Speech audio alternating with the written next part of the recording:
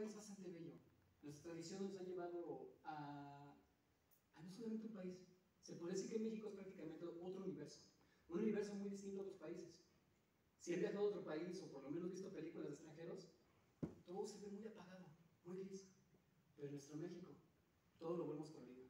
Todo lo vemos con sabores, olores y sobre todo lo más representativo de nosotros, los colores muy brillosos que hacen tanto de nuestra, de nuestra costumbre, muy mexicana. Incluso las calaveras, si las vemos, siempre las llenamos de flores. Las pintamos, las maquillamos. Cuando otros países le tienen miedo. Nosotros amamos a la muerte, la respetamos, mientras que en otros lugares le temen con toda el alma. Cuando yo tenía 17 años, mi mejor amigo me invitó a su pueblo. El pueblo se llama Colman. Desde muy chico me encantaba viajar a varios pueblos. Andar paseando entre ellos, perderme, conocer culturas, tradiciones, gastronomía típica del lugar. Aquella vez, mi amigo pasó a mi casa por mí en la noche. Nos vimos en la camioneta, una tipo pico. Su papá iba manejando. Nosotros estábamos niños todavía, 17 años. Íbamos platicando en la camioneta, en la parte de atrás. Y cuando llegamos a Ciudad de México, recordé que me gustan mucho las leyendas. Y le pregunté, oye, brother, ¿cuál es la leyenda de tu pueblo? Me dijo, ¿cómo? Digo, sí, la leyenda de tu pueblo. No sé si aparece la llorona, algún fantasma, no sé, ¿existe aquí algún guerrero, un asentamiento español en la conquista? ¿Qué es lo que hay en tu pueblo? Se puso muy serio y me dijo, conozco, güey. Agachó la mirada y me dijo, a Colman es conocido por ser un pueblo de brujas.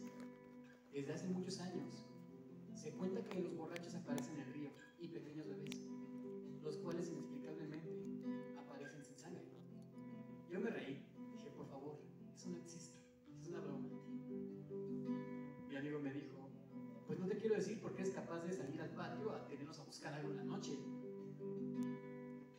El plan era salir al pueblo a buscar en la noche, pero no quiso. Llegó el sábado en la mañana. Eran las 10 de la mañana cuando me dijo mi amigo, brother, vamos a la estación de trenes. Yo muy emocionado dije, sí, el plan era ir a la estación de trenes, comprar quesadillas, tomar pulque y comprar algunas cuantas artesanías, ya que el pueblo se encuentra cerca de Teotihuacán. Pero al salir de casa me dijo, ¿quieres ir a la estación habitada o a la estación abandonada? Pregunté, ¿cómo que la estación abandonada? Y me dijo, a dos horas del pueblo está la estación habitada, pero a dos horas del lado contrario se encuentra la estación abandonada.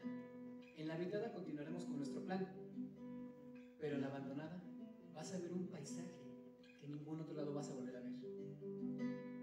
Mi corazón late demasiado fuerte. Sentía una inmensidad de curiosidad. Así que le dije, brother, vamos a la abandonada. Fuimos por provisiones a la tienda, típico de jovencitos.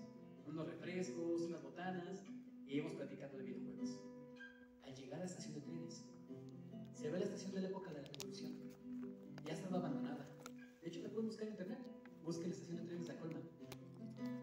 A un lado, recuerdo haber visto un árbol demasiado grueso, como una huehueta. Las vías se perdían de un extremo a otro, de manera desértica.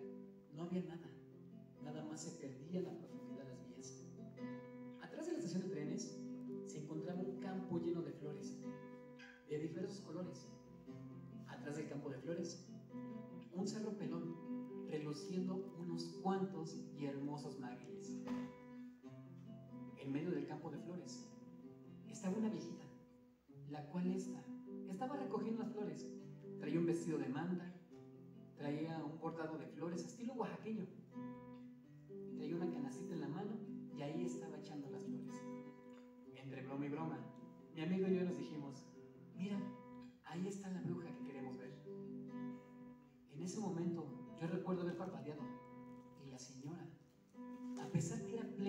no estaba ni siquiera nublado, no había ningún árbol cerca de ella.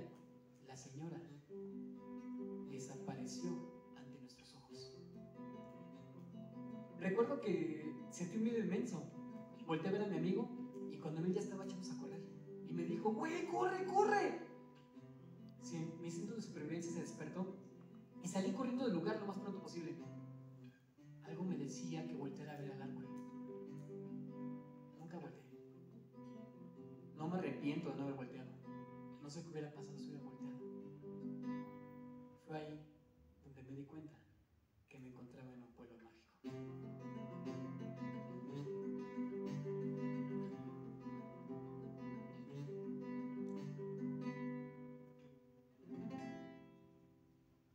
Esa leyenda es 100% cierta. Me pasó cuando tenía 17 años y la verdad al momento se sintió muy feo. A lo cual yo le compuse